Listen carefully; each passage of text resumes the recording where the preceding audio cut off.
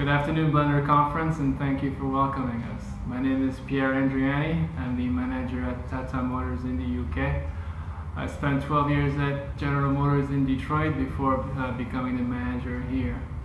In uh, December 2014, Mathilde graduated from her school, and this is when I gave her her first interview in November of 2014. And this is one of the first time I've seen a Blender in action. So the rendering of the helicopter was really the first time I ever seen a Blender, and I was impressed at the time. In uh, January, before a second interview, I had the seats that had to be modeled in-house, and I was debating if I should use polygonal modeling. Knowing that Mathilde used Blender, I was wondering if we could model those seats in Blender. So she did a test for me, and after three to four hours, she finished the seats. And that really was for me the first telltale sign that we should use Blender. So after the first test of the seats, we went uh, all the way to full adoption of Blender in about four months, and Mathilde will detail all these steps in her presentation.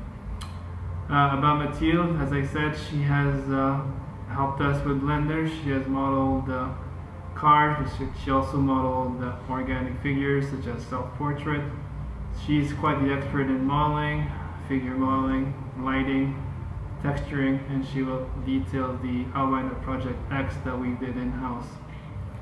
Once again, thank you for welcoming us. We're really happy to be there, and I'll let Mathilde walk you through our presentation. Thank you.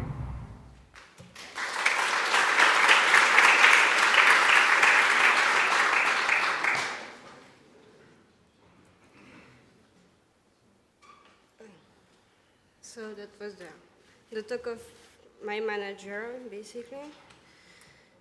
So. Oh my God.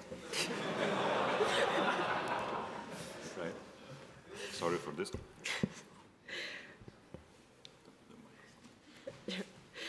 um, oh, yeah. So yeah, I will start by introducing my company, a little bit, bit of historic and a bit of the future. Then I will speak about the process, how we integrated Blender in our process. Then how we see the future of our process with Blender, and we'll finish by some question and reply and thing like this.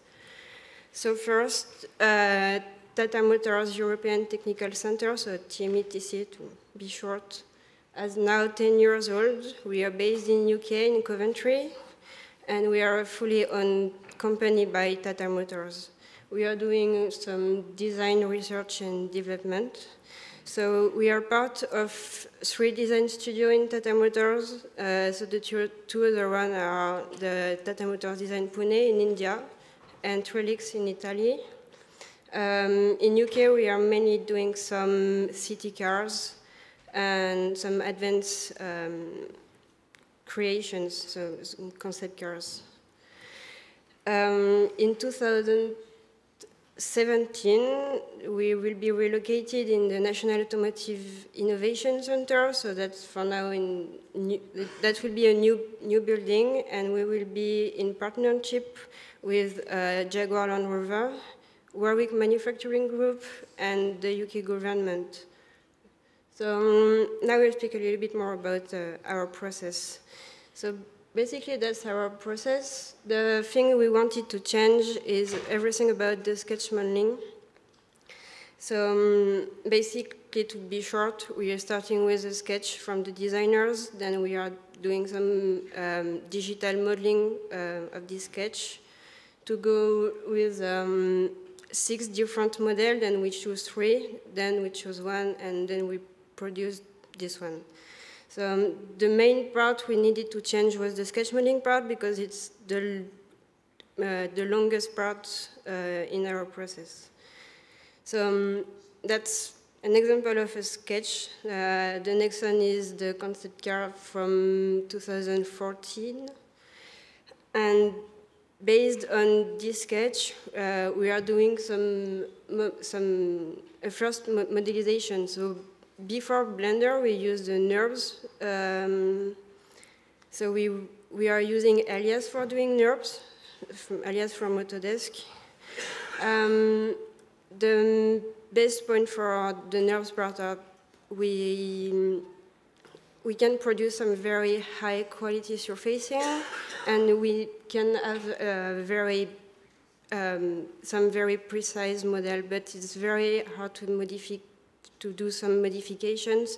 So that means that it's not a very good way to do some sketch models. That's why we moved until uh, polygonal modeling and until Blender to be able to do a lot of modifications, some iterations, and then the data we um, export from Blender to the engineers are very light compared to everything we can get from Alias or from the scan data that we have um, from the clay modelers, so that's physical modelers.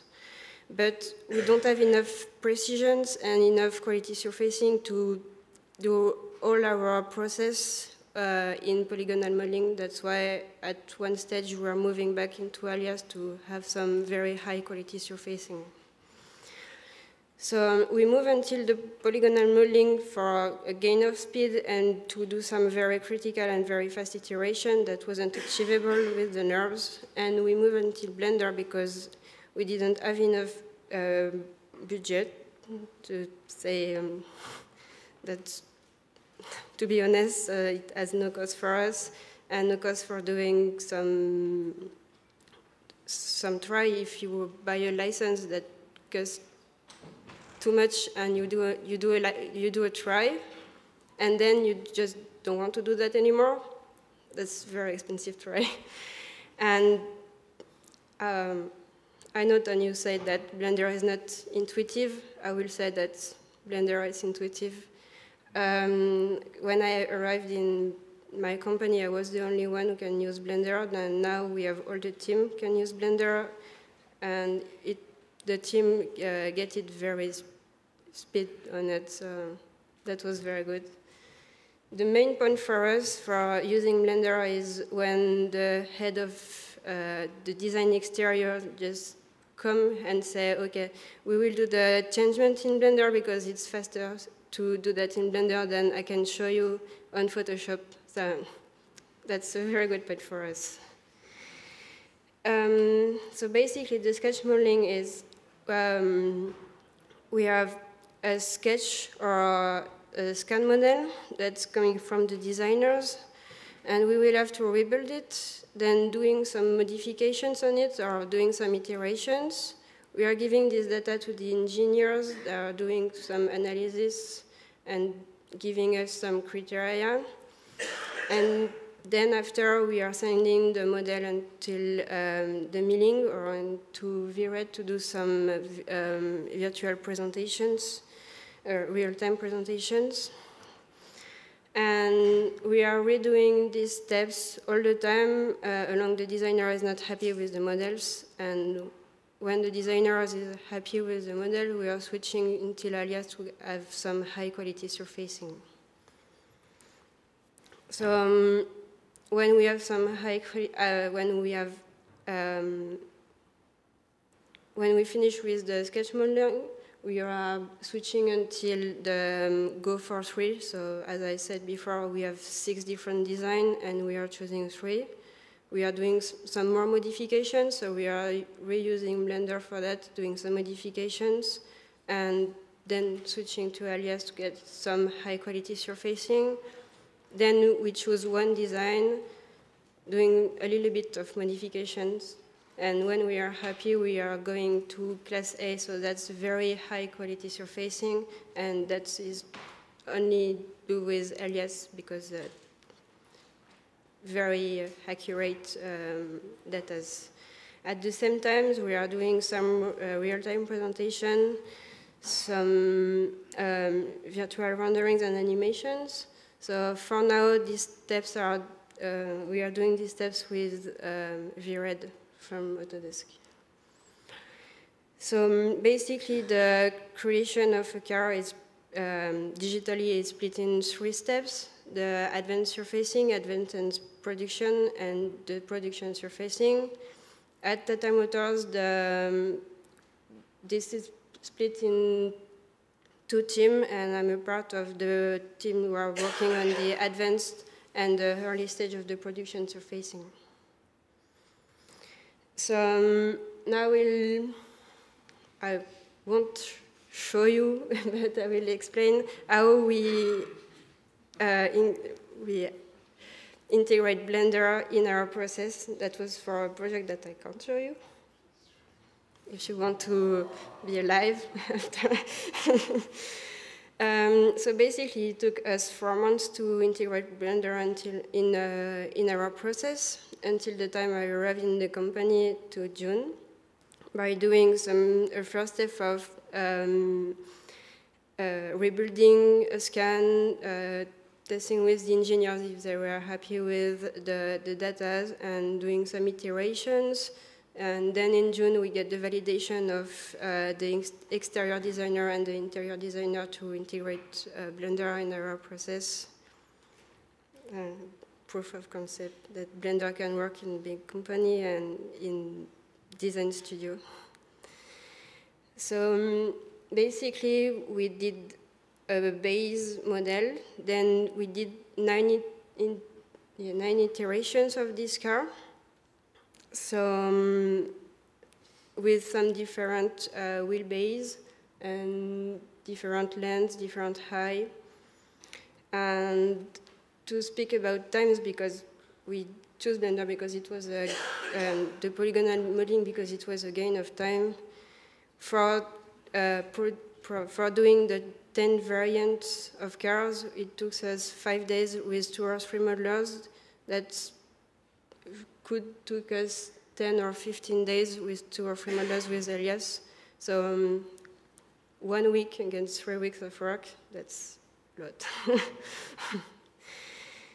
Um, so now we'll show you an example that uh, I did just for the um, just for the conferences to be a little bit more um, precise in what I will speak about. So um, that's the Nexon, that's the show car of 2014 that I will modify for an example um, how to transform a show car into a production car. So that's just an example. I did it without a designer, just, just by myself. so why not increasing the roof height, increasing the front overhang, or some stuff like that. So basically, I first start by rebuilding the scan mesh um, with um, a very low poly model. Um, that we really need a low poly model because uh, we need to modify it after, so if there are too many poly polygons, it's too complicated to modify. And as you can see here, by snapping the, the vertex on the scan, when we smooth it, it's just uh, too small because we don't have enough vertex. Um, so it's, we have to fit the new model to the scan so that took us a very long time to do, that normally we don't really have to spend all this time to fit the, our new model on the scan. And so that's um, important part we have to, to consider. And then when we have uh, this new model, we can um, try some modifications on it. So um, I will show you directly on the software. So um, the gray one is the scan model that we get um, from the clay modelers. Uh, for this part, like it's uh, card who already exists, that's the Alias model that I exported on, the, on Blender. And the blue one is the first, uh, the first model we um, I did so that's the one who doesn't fit to the, we, we can see here, that doesn't fit to, to the scan. Then we, then we rebuild, uh, we fit the model to the scan, and we have this car. So that's not very accurate as a model. We don't really have um, all the details or all the informations.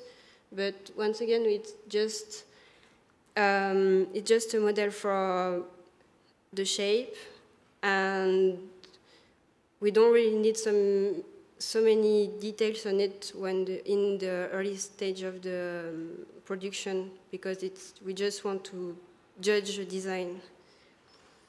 So um, that's the production car, and uh, no, that's the neck, the sh the show car fitted in the scan with a little bit. It's all right.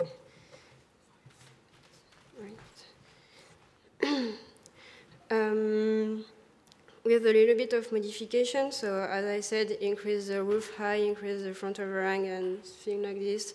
Get the um, rear screen a little bit more vertical and things like this. We can have an example of what could be a production car, and but then we can repeat this step as long as you as we want and do some more iterations and doing, why not, uh, four-wheel drive, four-wheel drive car. So that basically what we did for the project that I can't show you. Um, did one base model, and then after uh, created nine iterations uh, of this model. Then things we are doing with Blender 2 is uh, sometimes we have fun a little bit. And we are doing some crazy cars that are not really cars.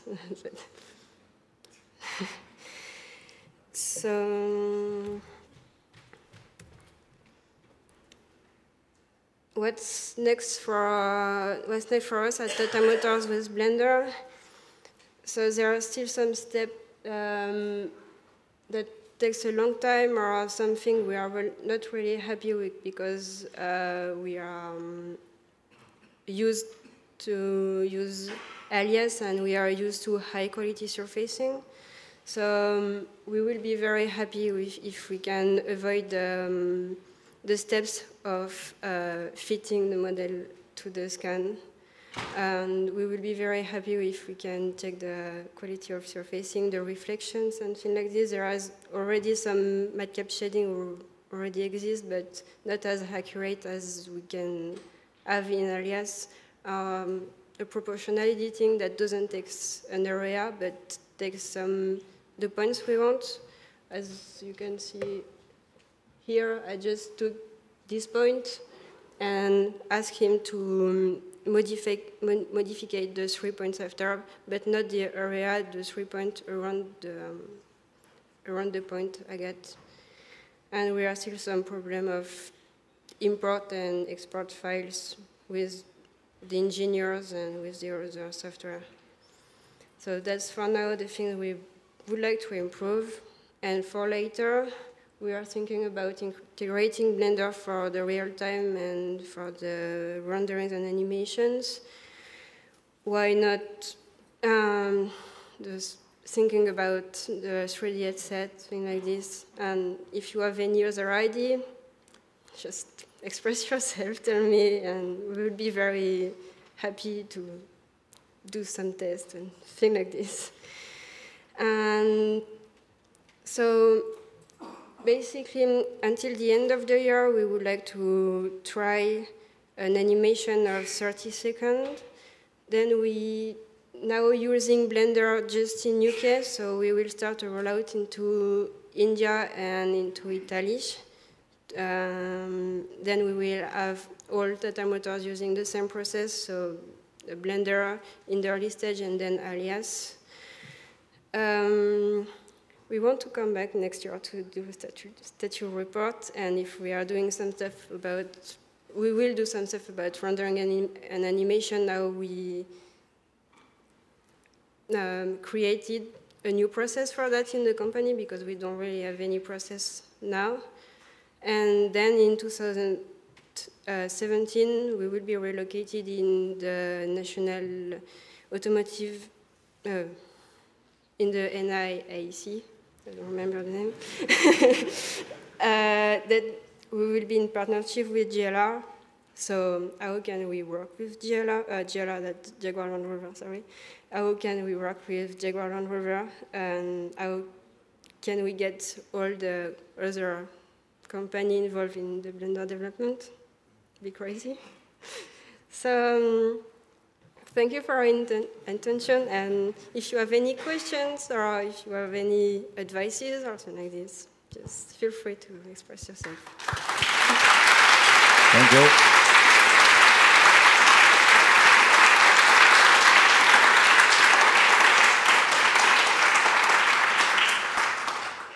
I think this isn't so much time for questions, so maybe very short one only, okay?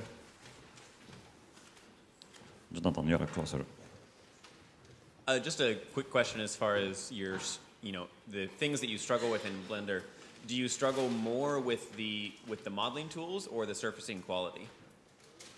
Do you find do you find the modeling tools to be sufficient, or are there particular tools, say from Alias, that would be really beneficial? Um, I guess it's not. It's not really about, the um, modeling tools. But, um, we don't know every uh, modeling tools. We know. I know that uh, we bought uh, RetopoFlow. That, yeah. but we are not using it.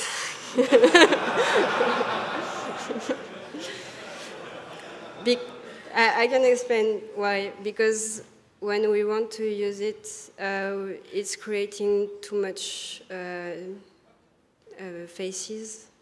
Then we need to have a very, very low poly. So um, it's fa as fast as using RetopoFlow that creating the surfaces. But maybe in the next stage, when we would like to have some more accurate um, models with Blender, we will definitely use it because I tested it and it's works, working very well. I'll, I'll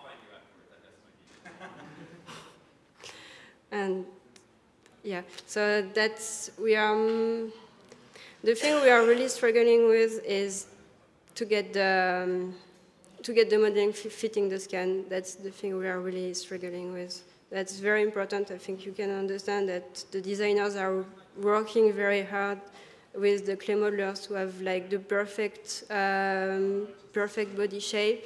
And we are doing that, and when we smooth it, everything is smaller, and it's like frustrating for them. And we will have just taking time to get exactly the perfect shape for, to get something for them. And, and even not for the designers and even for the engineers, because we are giving this data to the engineers. If the roof is something like, I don't know, even one millimeter less than the car, it can change a lot of things. So that's, that's the thing we really struggle with uh, in modeling. Thank you. Thank you, Matilda.